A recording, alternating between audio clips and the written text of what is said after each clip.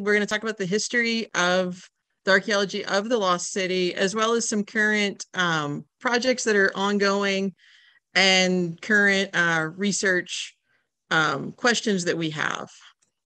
So to start, I'm going to just give you a little bit of an outline of what I'm going to be going over this evening. So we'll have the early archaeological excavations of the Moapa Valley.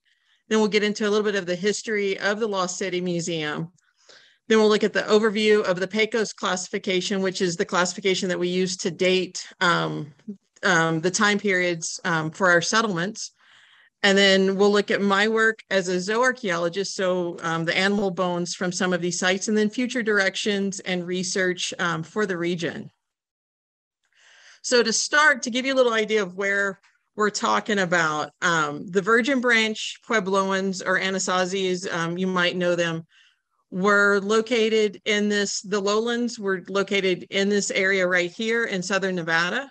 So, but the Virgin Branch region extended over into Arizona and up into Utah with the St. George Basin region and then the uplands that were located, the uh, people were located up on the plateaus.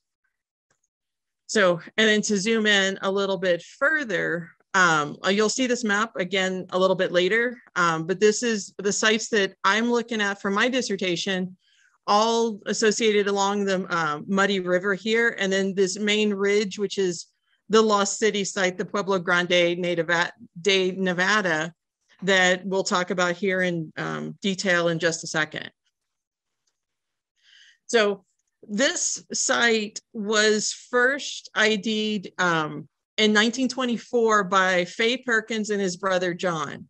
They brought it to the attention of um, Governor Scrugham, and I want to skip ahead to this one too, um, to let him know that they had found, they had pottery along the Muddy River. And so this was some of the first, and it was Puebloan pottery. So it was kind of unheard of at the time because most did not think it would be any further. This was too far west for the groups. So uh, Governor Scrugham contacted Dr. Mark Harrington and wanted him to come down um, to do to take a look. And so he and he was actually working up in northern Nevada at the time, and came down with Governor Scrugham in 1924 and was walking along the muddy and you know finding pieces of black on white pottery some of that hallmark like puebloan pottery um, and then that's when they realized uh, that they did have a pretty large site on their hands so like i said this was all discovered or uh, uncovered 1924 and it made pretty big news it was covered by some of the national papers um, of the day, and it was greatly sensationalized. So it was, you had the um, story of these seven foot tall giants that were red haired, they wore silk garments. Some of these places where the city was 10,000 years old, none of these were true. Um, the folks here, the people who lived here were roughly um, between five, six, five, eight as a height. Um, there was no silk found. And we're talking probably around 1500 years old for the site. And Mark Harrington ended up doing a newspaper article later to try to, you know, set the record straight. But because, you know, everybody wants this huge thing because 1920s, you know, it's the time, big time of Egyptian exploration. So we wanted something huge, you know, to kind of compete with that. But one of the things they did do was this pageant. So with this found the founding of the city. So this is some of um, went back a little bit. So this is some of the excavation photos from that time. They wanted to make a big deal out of it. So they had this huge pageant in 1925. So a little few months later, it happened in May, that Brigham Young College, their theater part, department came down, um, directed a pageant. They had um, Native American um, Zuni dancers, um, and then a lot of the folks who live there were part of the reenactments. And so this this actually happened um, two years in a row. They did it in 1925 and 1926, and then it Um, just kind of, they did not do it anymore, but they were running, you know, special trips, all of this with the Union Pacific to get people out here. There were a couple of Hollywood actors, though not entirely sure with the name because I don't think they've ever been able to figure out who they were, but you had some pretty big name people here to see this site of the lost city, this uh, Pueblo Grande de Nevada. So, and this is um, on this slide here is when they created this pageant site, they also created um, pueblos. So how the pueblos would have looked. So these are based off of some of the foundations that they had found at the region. So they kind of knew what the shape of those buildings would look like. So people built these to kind of give a backdrop for that pageant. And some of these photos are just pretty cool, you know, because they're from that time period and to have knowing how the road is now to get over to St. Thomas, and this was not quite at St. Thomas, it was a little to the north. Um, knowing that you know my car does not like that road too much so knowing that these cars here are able to make it over there is pretty uh pretty amazing actually so with all of this going on so you have that site it has a number of room blocks um, that mark harrington called houses he also enlisted the help of the perkins family so chick or faye perkins stayed on as an archaeologist and he was trained by Mark Harrington during this time period. So, and then he actually stayed on to become uh, curator of the Lost City Museum until 1956. And then, so it's from 1935 to 1956. And then his son, Chick, took over in 1956 and actually stayed on as curator until 1980. Now, the Perkins family for this region actually did quite a bit of excavation work throughout, not just here at this site, but throughout other sites in the valley, which I'll talk about in a little bit. Some of these are ones I'm actually using for my dissertation or ones that we have curated um, at the museum. So like I said, in this case, these are just some old excavation photos. And um, another archaeologist who was brought in was Louis Schellbach. And so this is one of his maps that he had drawn of how the room blocks would look. So one of the big classic shapes for Puebloan ruins um, in the Moapa Valley is this kind of C-shaped Pueblo. So you have rooms that are habitation rooms, so the rooms that they would have lived in. You have smaller rooms that are storage, but they all kind of form a C shape. So they would add on to the end and all you know um, just to well they'll, they'll just kind of keep enclosing in um, as they go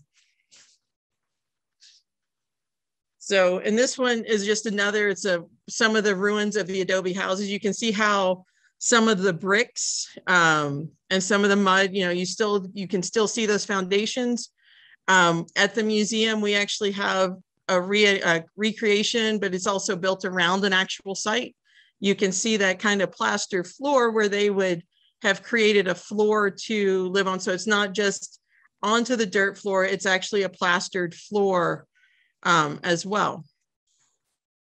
So one of the other sites that they, that Harrington and an archaeologist by the name of um, S.M. Wheeler and Bradley Stewart worked is a site that you'll, I'll point out on the map in just a second, um, is a site called Black Dog. And this one was brought to the attention of um, two, S.M. Wheeler brought this uh, site to the attention of Mark Harrington in 1934 um, when they found parts of a, uh, of a basket. Um, members of the Civilian Conservation Corps were working excavations in the area. So they were hired, which I'll talk about in just a second, too, to build the museum but also do a lot of the excavation there to pretty much save the sites that were going to be covered by Lake Mead once the Hoover Dam, or the, as it was known at the time, the Boulder Dam, was finished. So they had been working in this region and had brought and found uh, parts of a basket. So Wheeler was not able to actually get over there to look at it himself. So in 1942, they came back um, with Bradley Stewart, who kind of led the excavations. And so, in Black Dog Cave was discovered at the time, but they had excavated a pit house, which was an earlier site um, in this area too. So this extends, which I'll, like I said, I'll point it out on the map. Um, so pretty much it, the sites for this region run the length of the Muddy River. So to the museum itself, so in order to have, you know, you have, you've done all of these excavations, a number of these artifacts went to the National Museum of the American Indian. Some went to the Southwest Museum over in Los Angeles, which is now part of the Autry Museum. Um, material went to New York, but a lot of it stayed here in Southern Nevada. So they needed to build a museum to hold this. So there was a temporary museum at the Lost City itself. So at Pueblo Grande de Nevada. So this is actually Mark Harrington in front of that before the actual museum as we know it today um, was built. So the original name for this museum was the Boulder Park Dam Museum or Boulder Dam Park Museum. Um, and it was built, like I said, 1935 to house these artifacts. And in this photo, so this is as it's going up, we actually have a couple of versions of this photo in the museum. And then this one's all of these things that you can see in the photo, those are all bricks. And so they made the sun-dried adobe bricks that we have on the building now. Um, and you know, there's been some reconstruction, and you've you've got preservation that needs to be done, conservation that you know has been an ongoing thing because the building is you know 85 years old, um, and it's you know it takes some damage through the you know monsoon seasons and things like that. So this museum was actually part of the National Park Service initially. And then in 1953, it was turned over to the state of Nevada. Um, so, and it, then that was when the name changed to Lost City Museum. And it's now part of the National Historic Register, um, National Register of Historic Places, and it's one of seven state museums. So it's also the oldest um, let's see. Nope.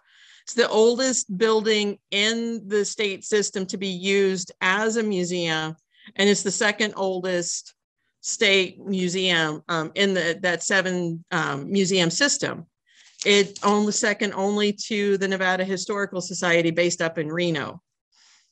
Um, so, and today, you know, most of that Lost City site is on Lake Mead, though you have a lot of sites that are part of this Virgin Branch region that extend, you know, throughout the Moapa Valley along the Muddy River. And so we have um, the National Park Service oversees the sites in Lake Mead, though you do have site stewards who go out and monitor um, the pageant site, the uh, St. Thomas, which I don't really touch on here because um, that was well after um, the time I'm interested in. And then we actually own at the Lost City, we actually own three sites um, that were initially excavated by the Perkins family. Um, those came up as available to purchase, and the state was able to do so. And so we we are protecting those. We monitor those. Um, and actually, one of those sites is being used for my dissertation as well as um, another grad student. Um, he's looking at the pottery. And a lot of these sites are threatened by development and recreational use. So, you know, you, you monitor these sites to make sure that you don't lose them. So jumping from the origins of the um, Lost City and that site we're um, we're going to talk about the PECOS classification because we're going to move into some of the current research going on. So one of the things I'm looking at, um, I do animal bones. So I'm looking at subsistence across time and across space, basically for the Moapa region. So I'm looking at Basket Maker 2, which is that 500 BC to AD 500. So most of my evidence, my faunal work um, comes from Black Dog Cave that I mentioned. And during this time, you were main the people were mainly hunting and gathering. Um, there is some evidence of maize cultivation in the form of maize cobs, and that have been excavated from the site. And there are no one of the hallmarks of this is there are no ceramics, so no pottery pieces from this basket maker two period. So I move into basket maker three. Um, where people are living in those pit houses um, in clusters of one to four pit houses. You do have uh, ceramics and maize. Um, agriculture is important, but hunting is also still important.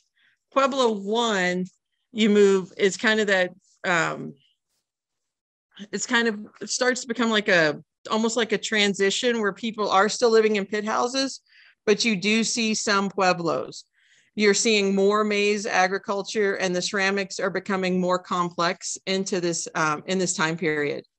And then pueblo 2 is that greatest um, occupation um, greatest population. Pueblos are typically that c-shaped or u-shaped that i mentioned. They're all single story so unlike places like chaco canyon um, with pueblo bonito um, point of pines down in arizona um, Canyon de Chelly, all of those are multi-story. Um, ours are not, but you also have, um, we do still have some pit house, but we also have trade networks that are in place. So we have a lot of turquoise, we have a lot of shell and possibly salt that's being traded. Um, and I'll touch on the shell in a bit um, towards the end here. And then Pueblo 3 is kind of the period of abandonment. So people kind of left this region around AD 1250. We're not entirely sure why. We're not sure where they went. Um, it's one of those ongoing questions. So, like I said, um, I brought this map up again. So, the Black Dog complex is up here. And so, this is part of that Muddy River um, here. And then you've got Bovine Bluff, which is another one of my sites that I'll talk about tonight. And you can see how the river runs down. So the sites I'll touch tonight um, is Steve Perkins and Adam 2. Yamashita and Pueblo Point are also going to be part of my dissertation, but don't have that data yet. And then Main Ridge said is where is this whole location for the Pueblo Grande de Nevada. So you can see most of the sites are um, all located along this, um, along the Muddy River here there's a, I think a handful along the Virgin River, but I most of what I'm familiar with are all along the Muddy. So Steve Perkins site um, is actually one of the first ones that I did. It's a what we call a multi-component site. So it's um, had two distinct periods of occupation. So it was occupied during that basket maker three, and then they think was abandoned and then um, occupied again during the Pueblo II. So when um, more, you know, had a larger population. So this site was initially excavated by Chick Perkins in the 1940s. And then it was later excavated from 1970 to 1972 by Dr. Claude Warren, who was affiliated with UNLV. And he actually hosted an archaeological field school um, out here along with Robert Crabtree. Um, and then in the 80s, 1980s, uh, Keith Myhrer looked, he was an archaeologist with the Bureau of Land Management, organized the majority of those artifacts from these excavations, and which, um, and then he was the one who was able to identify two distinct occupations. So these are some sites you can see the foundation of that Puebloan ruin. So the Pueblo itself. So you have that kind of arc. And this is just overlooking looking out over the site. And then this is another part of the, um, some of the excavation work. So Adam 2, this is one of those that we actually own um, at the Lost City or the state does. And it was purchased in 1981. Um, it was initially surveyed by Elwood and George Perkins, Perkins from 1930 to 1934. And then the site was included in the on a, what's called the Muddy River Survey that was done by UNLV student Larry Alexander in 1973. And he surveyed along the Muddy River and um, numbered a number of sites um, when he had lithic scatters or pottery scatters uh, or pottery sherds. So um, Margaret, Dr. Margaret Lyneis, who was also here at UNLV, she carried out initial excavations in 1979 and uh, recorded the site in the Nevada uh, statewide site record system. And then the excavators recorded a C-shaped Pueblo, which was a descriptive name taken from the Perkins recording of the site. And then after the site was acquired by the state in 1981, another excavation was planned with people from the Lost City Museum, UNLV, and the State Museum. And work officially began in January of 1982 with members of UNLV, Lost City, and the Archaeo Nevada Society. And then finally, there were limited excavations in the spring of 1983 under the supervision of Mary Rusco and Jean Clark. So, and then Bovine Bluff, um, one of the only, one of two, with Black Dog being the other one, um, sites on the west side of the I 15.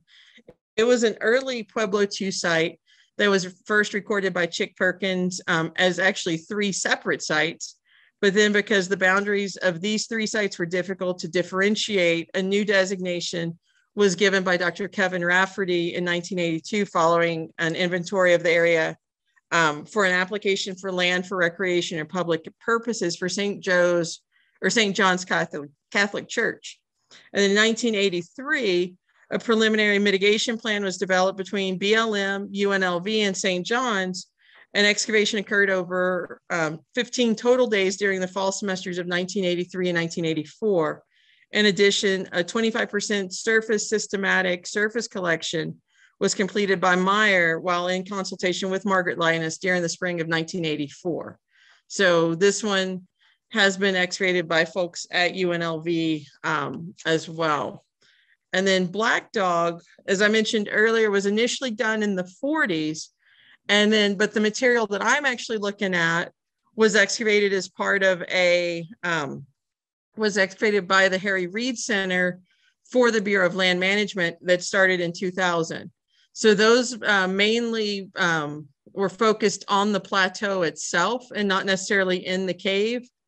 And so, most, so that's where most of my stuff is. But the dates, um, the features with the faunal remains that I'm looking at um, date from that basket maker two all the way up through uh, P, uh, Pueblo 2. So nice wide range of dates for this region.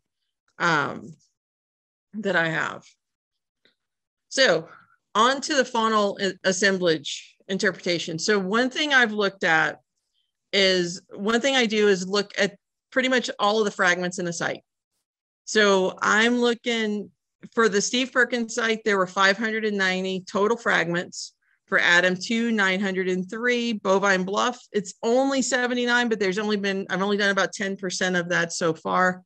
And Black Dog Mesa, I've got 400 done, 400 fragments. I have maybe about 100 or so to go. And then from that, you start determining what type of animal you ID. Um, so you come up with a minimum number of individuals and a number of identified specimens.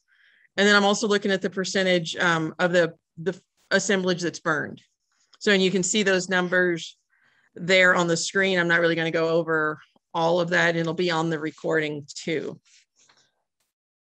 So for um, the animals in the Steve Perkins assemblage, it was dominated by desert tortoise, as are most of these. You also have uh, mule deer and bighorn sheep, as well as turkey, the jack or desert cottontail, jackrabbit, and then the um, common goldeneye, which I'll talk about in just a minute, because that relates to seasonality as well as the desert tortoise. So we have several of these. Um, and so far, this is the only site that actually has turkey present, which talk about in a second is related to um, future research. So with the Adam 2 assemblage, you have bighorn sheep, like you'll have, these are pretty much going to be common across the board. The desert cottontail, the um, or black-tailed jackrabbit. We also had dog at this site and the desert tortoise. This so far, this has been the only one that has been had a dog that has actually been identified as domestic dog as opposed to just being able to identify it as a canid, so either dog or coyote. Um, and like Steve Perkins, desert tortoise was the most uh, prominent animal at this site as well. Same with the little bit that I have done at Bovine Bluff. It's the same, same four animals. Um, you don't have mule deer here, uh, but you do have that desert tortoise and um, the two rabbits and the bighorn sheep. Now with black dog, you do, you have, a, this is actually more desert tortoise at this site than any of the ones that I've had so far. But we also have the black-tailed jackrabbit, mule deer, the bighorn, and the little cottontail. Um, and with the desert tortoise, a lot of these elements in this particular one were burned. And in this case, a lot of times with some animals, you don't really rely on that burning because it's that kind of you're burning trash basically. Because if you cook a you know a, a, piece of meat to the point that the bone is burned inside, you're pretty much ruined your entire you know meal there because it should be it'll probably be burned black. But with tortoises, one of the ways that they would do this is actually roast the animal in the shell. And so the tortoise the shell would still be would be burned black. And then they would pop it open at the bottom on the plastron. There's um, where the carapace so this top part of the shell meets the plastron. So it's back here on the side. You can easily pop that open and get to the meat. So that uh, burning of the plastron could be indicative of that so with the seasonality mentioned a couple animals that could talk, you know, relate to this. So mule deer, the desert tortoise, and that common golden eye. So the golden eye is interesting because we know that likely this, you know, we had definitely had a winter occupation um, because this bird only winters in southern Nevada. Its breeding range, it spends most of its other time throughout the summer in northern Canada. So it's only going to be down here in the winter months. Um, desert tortoise, um, finding these things, you know, these animals all year round. What you know, they're they go into a brumation through the winter, so essentially like hibernating, but not quite. Um, and then they emerge from their burrows early spring, uh, like March, April, maybe early May. And then they go actually go back into another type of burrow through the summer because it's too hot for them. Um, so, and they, you can't necessarily rely on the, you know, animal behavior because these burrows can be really big, you know, 10 meters in length. So, you know, you have no idea where these, you know, animals could be. And then finally, the mule deer would be, mule deer are not found in Moapa Valley, down in the valley proper. It's too hot. They're up on the plateaus. So it could be indicative of hunting in the surrounding areas during the autumn in autumn um, when the pine nuts would be harvested. I don't think there's been pine nuts at the four these four sites um, that I have seen, but with the you know presence of those bones, that would be you know they would the pieces of meat would have either been traded down or they would have hunted them when they went up for that pine nut um, harvest. So as I mentioned earlier, um, you had this these modified elements, or you had um, shell beads. So most of these are what are called olivella sheet um, shells. So they're a little gastropod uh, snail, basically marine snail.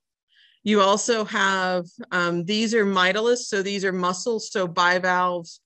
And then this is nacre, um, so that iridescent coloring from abalone shell. So all of this would have come from the coast, um, whether it's down, we know some of them came down from around near Baja.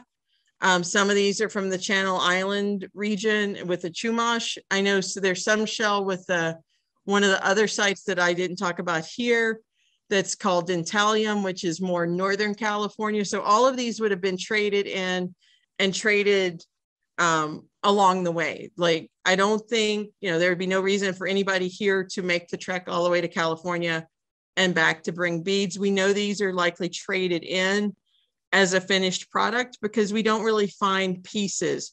This is in pieces, but this was an actual pendant. You can see where this was carved at some point um, and then broke. And this nacre um, is a lot more fragile than actually any of these are. We're talking probably paper thin or maybe like two or three sheets of paper is the thickness of these. Um, but we know, you know, likely trade came up with the Hohokam, so down in southern Arizona, because those they did a lot of shell manufacturing. Um, and that's also one of the um, ideas for some of the maize cultivation and ma- the corn um, uh, irrigation and agriculture because there was irrigation um, to supply the water to those because you couldn't rely on the rainfall and that would have come from that southern region because they did irrigation farming down there so it could have been a you know exchange of product as well as the ideas for this so subsistence in the lowland region, so in this Moapa Valley. So we know that they relied on corn. Um, we've got corn cobs, we have burned cobs. They're at pretty much every site. We faunal exploitation practices never followed those seen in other areas. So in other areas of the Southwest, like the Hohokam, like the Chaco Canyon region, as the populations grew, they changed their hunting strategy. So over there, they started with large animals like the deer, like bighorn sheep, if they were available, uh, pronghorn, those kind of things. But as the population grew, you know, you push, you're you're spreading out, but you're also you know pushing those animals out, kind of like we do today, and you move to animals that are smaller. So you get a lot of uh, jackrabbits and cottontails, but more jackrabbits just because of the behavior with how they react. So they're able to drive those. And so you get large amounts of jackrabbit bones in a lot of these later assemblages as that population grew. Now, here, we never really had that. We had um, a lot of times the bunnies were more prevalent in the beginning in the earlier sites and then you know the larger animals were present in the later sites and you never saw that reverse of that but we also had a food resource here that other areas did not have and that was that desert tortoise and yes you know they take a while to grow but and you know they're endangered now and that's but then you know there's probably a pretty abundant a population of desert tortoise in the region. So one of the things we're looking at possibly doing in the future is um, conducting maybe survey work around black dog um, because since that's up on the mesa we don't have a lot of material up there.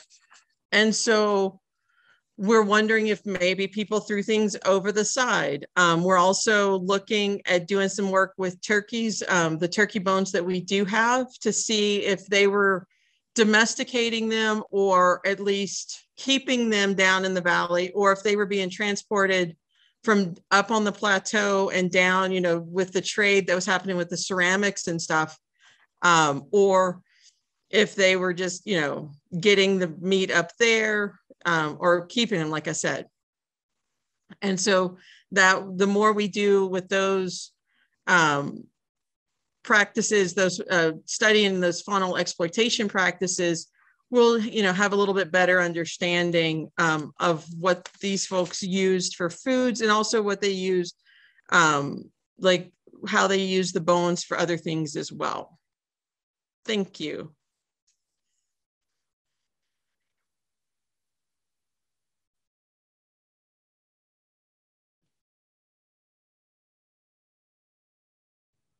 Okay, we have one question. They wanted to know how many people lived in the area at its peak and are there theories of why they abandoned it?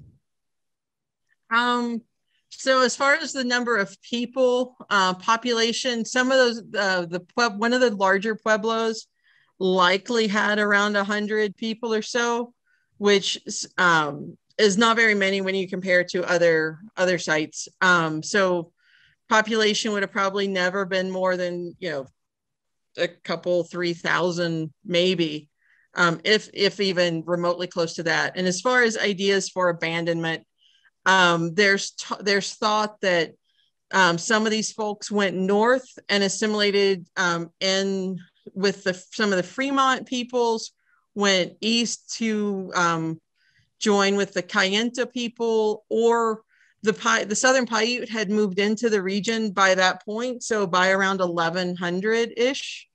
Um, so they think that though you know some of the people here might have just assimilated into those groups as well. But as far as where the vast majority of the population went, we don't know, and that's I don't think anybody really has any sort of ideas that have not already been thrown out there.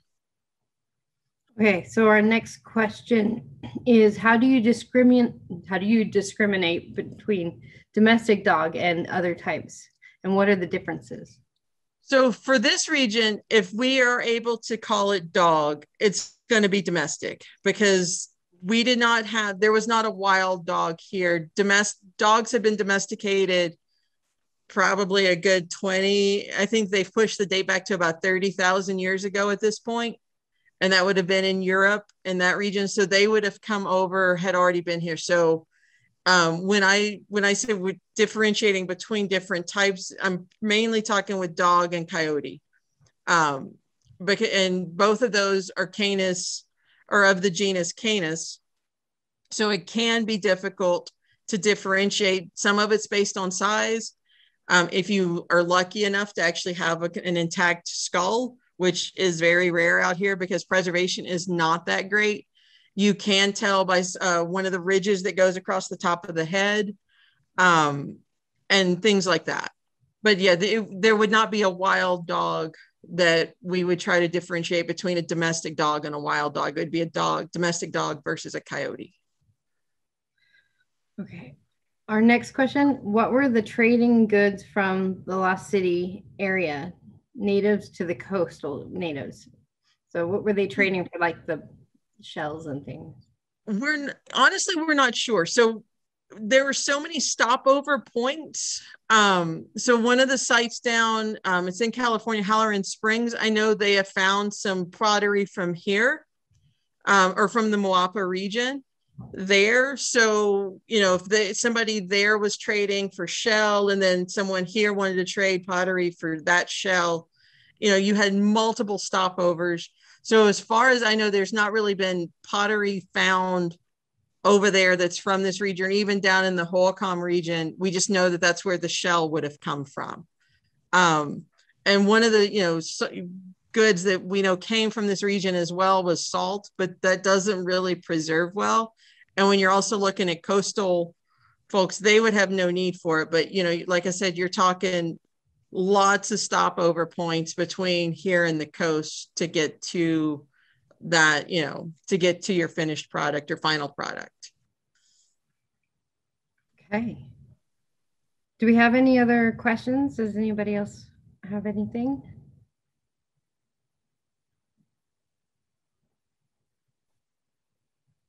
Okay. Well, thank you so much, Jenny, for coming and talking to us and telling us about Lost City and your research. That's really interesting. When you get to the finish point, let us know and you can come back and tell us how it went.